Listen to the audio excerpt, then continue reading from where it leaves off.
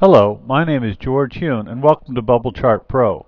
Today we're going to look at 3D bubble charts, a new feature in Bubble Chart Pro version 5, and how to analyze project data using 3D bubble charts. As you can see, a 3D bubble chart can display four dimensions of data. In this bubble chart we see cost along the x-axis, probability of success along the y-axis, and the overall value score is calculated by the built-in prioritizer along the z-axis or the vertical axis. And finally, the bubble size represents the profit for each individual project. In this chart, the most desirable is the front left quadrant. These are projects with the lowest cost, highest probabilities of success, and the highest value scores. The less desirable quadrant is the lower rear quadrant. These are projects with higher cost, lower value scores, and lower probabilities of success. As you can see in a 3D bubble chart, some of the bubbles tend to get hidden behind other bubbles because of the 3D nature of the chart. So, in Bubble Chart Pro we can rotate the chart so we can see the different dimensions of bubbles relative to the different grids. We'll start by rotating the chart counterclockwise or to the right by clicking the right arrow button at the bottom of the form. Notice that with each click of the button, the chart rotates a small amount. Now we can more easily see the bubbles in relationship to the overall value on the vertical axis and cost on the horizontal axis. Next, we can rotate the bubble chart downward so we can see the relationship between the probability of success, which is now on the vertical axis, and cost, which is still on the horizontal axis.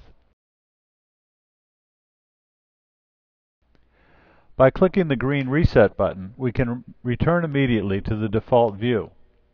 Next, we'll rotate clockwise or to the left so that we can see the relationship between probability of success, which is now on the horizontal axis, and the overall value score on the vertical axis. And we'll return to the default view again by clicking on the green Reset button. In 3D bubble charts, it can be difficult to see the relationship of the bubbles and the grids because of the visual perspective. So, Bubble Chart Pro has a couple of options for helping to overcome this.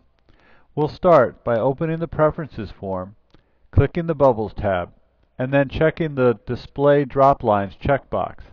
After saving and closing, now you can see that each bubble has a drop line, which are lines that run from the center of each bubble to the grids on the sides so that you can see exactly where the center of the bubble is in relationship to both the vertical and horizontal grids. Now, to get an even clearer picture, we can also turn this into a 3D scatter chart by clicking equally sized bubbles and then we'll save and close the preferences form.